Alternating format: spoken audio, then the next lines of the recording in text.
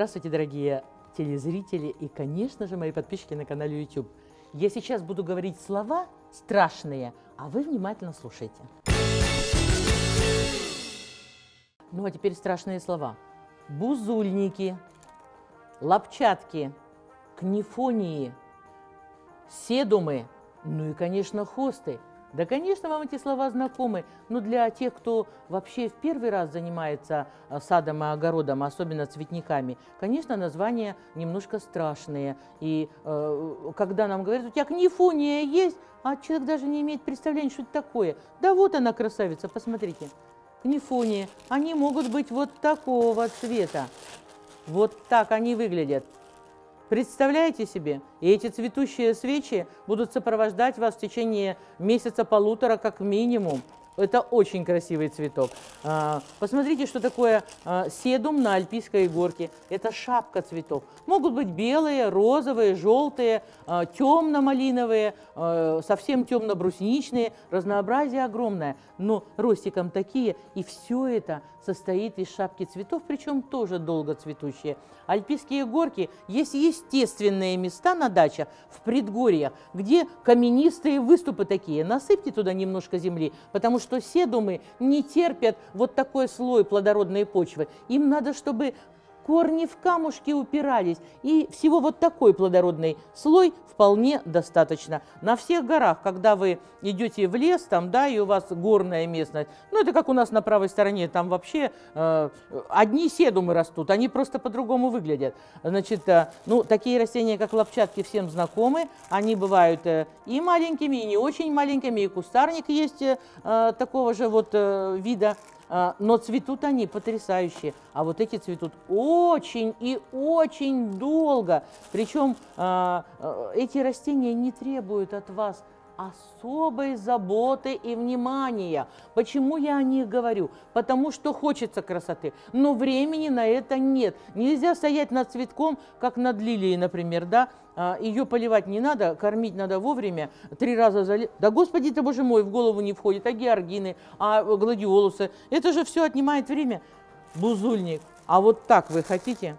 Цветет в любую э, погоду, в любое время, не заламывается, не страдает ни от каких э, климатических э, передряг, ему все равно. Он будет цвести желтыми цветами, создавая э, эффект солнца на вашей даче. Ну и последние представители, которые хочу сегодня с вами, хочу вас с ними познакомить, а их с вами, чтобы вы их полюбили, это, конечно, хосты. Тот, кто с ними знаком, он знает, насколько это красиво. Вот здесь хосты сфотографированы голубая, пожалуйста, а, да, желто-зеленая, бело-зеленая, они сфотографированы без цветочной части. У хосты, ну, обычно она э, высоты сантиметров 25-30, э, не более. Это набор декоративных красивых листьев от середины шапкой. А в середине этой шапки поднимаются цветоносы. Они могут быть с белыми колокольчиками, с голубыми, с нежно-нежно-голубыми, с темно-синими. Разнообразие великое.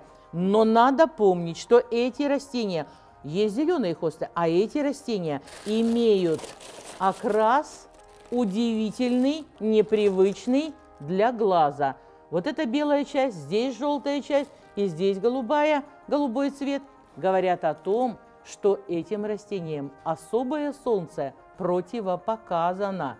Понимаете? А, э, есть такой закон. Если у вас э, э, домашние цветы имеют какие-то полосы или пятна на листьях, да, желтые, белые, то им надо обеспечить солнце, иначе декоративность листа потеряется. У садовых цветов наоборот, если на них есть подобные э, пятна, либо полосы, либо окантовки, окоемки, то их надо убрать с солнца, иначе все это превратится в зеленый цвет. Запомнили? Вот у этих красавиц есть одна особенность. Вы э, видите, что на листьях есть либо полоски, либо пятна, или окантовки, окоемки, либо цвет листа изменен. А, но такие цветы с такими же особенностями есть и домашние.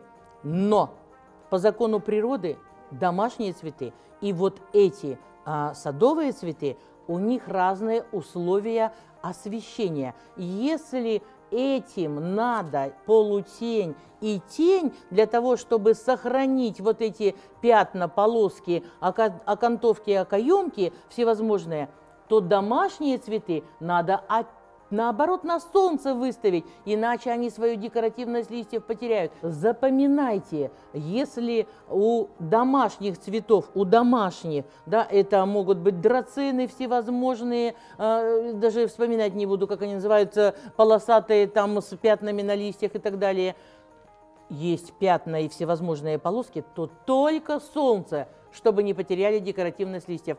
А если это у садовых цветов, особенно это хост касается, то, конечно, нужно спрятать их от солнечных лучей. Тогда они будут так декоративно красивы. Услышали меня? Молодцы! Я надеюсь, что вы все слышите и внимаете моим добрым советам. На этом до свидания, всего доброго. Всегда ваша тетя Таня.